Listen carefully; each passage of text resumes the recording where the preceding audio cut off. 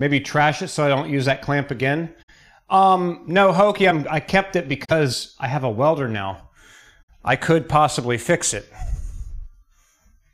Because I still have the little broken part. I just need to weld it back together.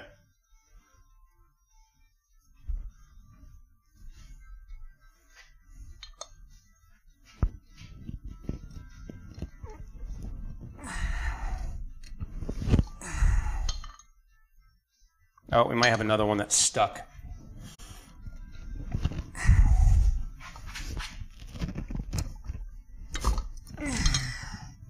Oh, no, there, there it goes.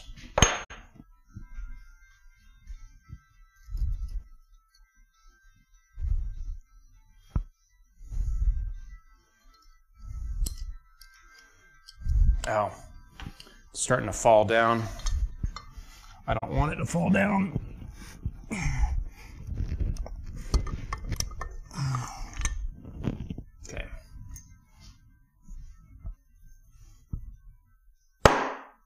Okay, yeah. I was hoping tapping it would cause it to break free of the magnet, but no, apparently not enough.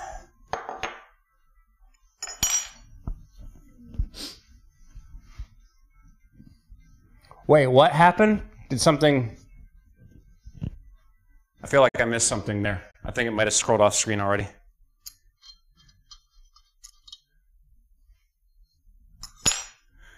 Okay, let's get that valve out. Squirrel.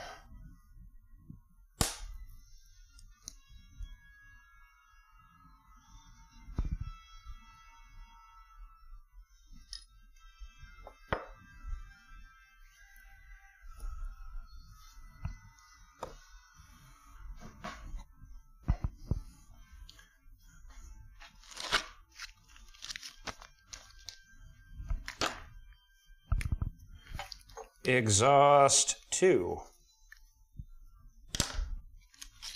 Oh, here's a Sonic song.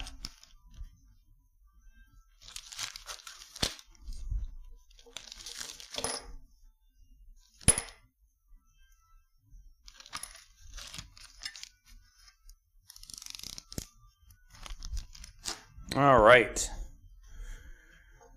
And now, number one. Now, I apologize, guys. I'm having to move the camera so I can actually get in here with my body weight.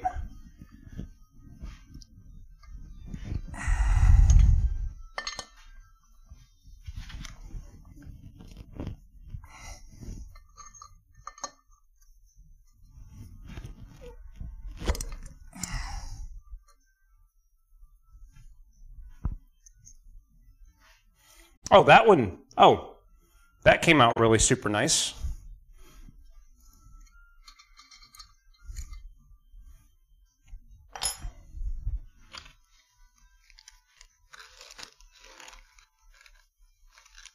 Burnt maroon and Chicago orange are Virginia Tech's colors, and Hokie is their mascot.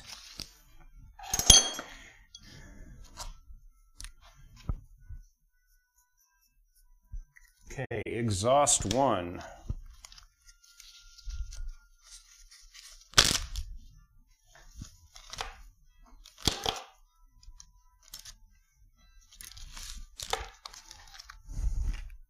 Okay, now let's get the valve out.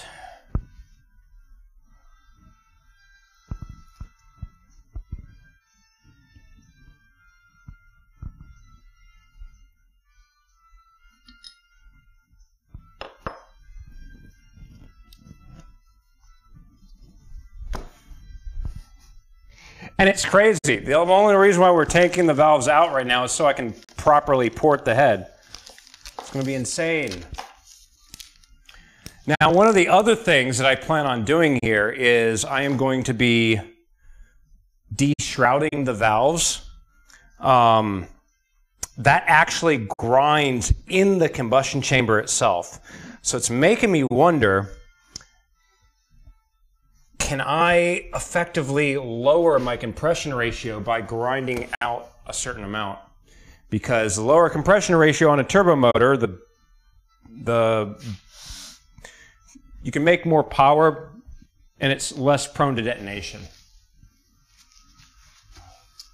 The entity named the Hokie bird is a turkey, but the word Hokie has nothing to do with the animal.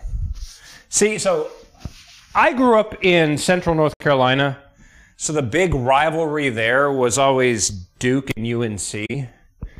Both of them different shades of blue. And it was just one of those deals of, you know, you had to be wearing that color blue. Like you had to have your team's blue, right?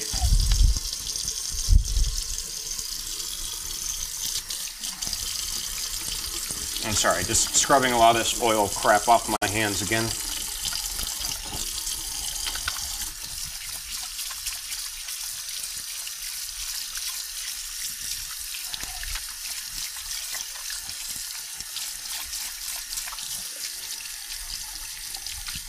All right. Um, and it to make it worse, um, my stepdad uh, was a fan of University of Kentucky, and their their colors are also white and blue, but it's a completely different blue than any of the North Carolina blues, you know. So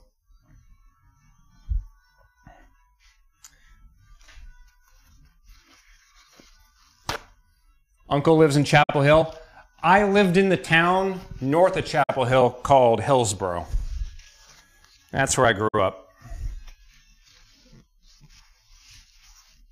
So if you if you have driven down to Chapel Hill, you probably drove right past Hillsborough.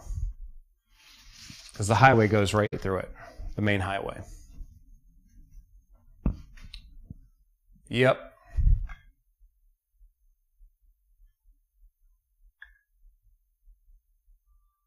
Chesapeake.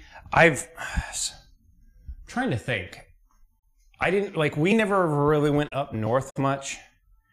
Um my family, we always went down to Myrtle Beach for like summer vacation stuff or just stayed at home or drove up to Minnesota to see my grandparents. Uh, the Minnesota trips, though, because of the distance, it was a little bit rare, like every other year or something like that. Or we would come up here for the holidays and then come back or whatever.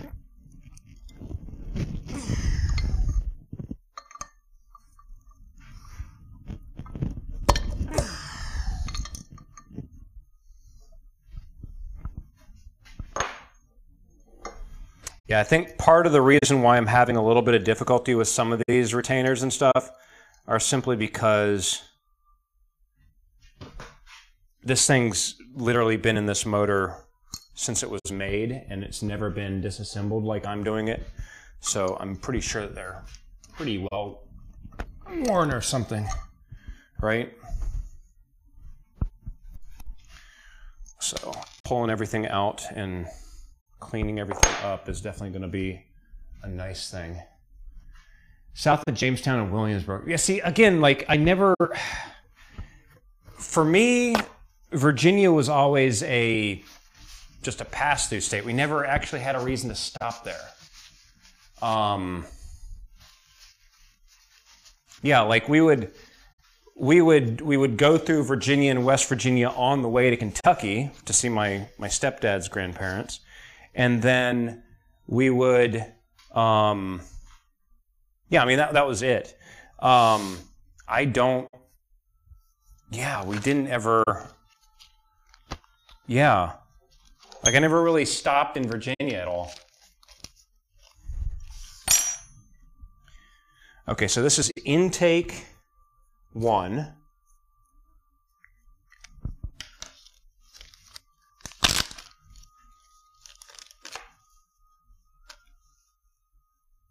Wait. Shit. Oh shit. I have them completely backwards. All the ones that I've marked exhaust were actually the intake valves. Shit. Okay. Well, let me fix that now.